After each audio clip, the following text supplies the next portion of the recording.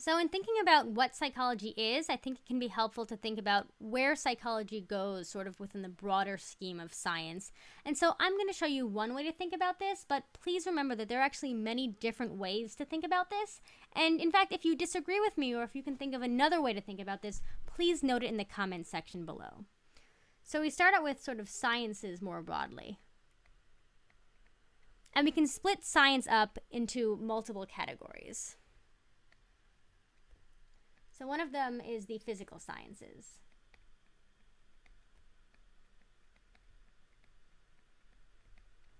And these include things like physics and astronomy and also chemistry. But then we also have the, the biological sciences or, or the life sciences.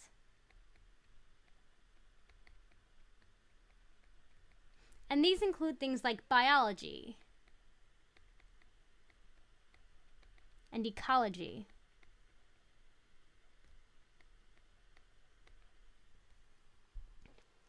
Then we also have another type of science,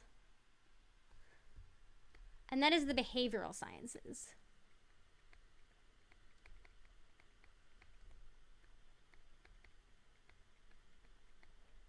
And this includes psychology.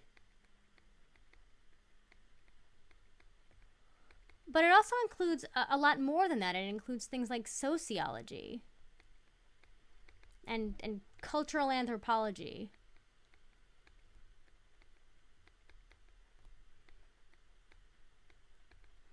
As well as things like economics.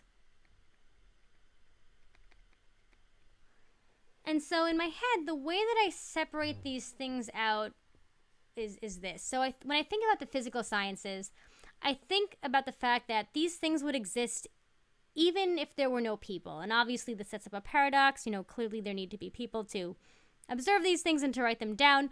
But, you know, you can conceive of the fact that, you know, space would exist even if there were no people on Earth. In fact, the physical sciences could basically exist without life. You know, even if there was no life on Earth, you know, we could assume that there would still be physics and astronomy, you know, and, and inorganic chemistry.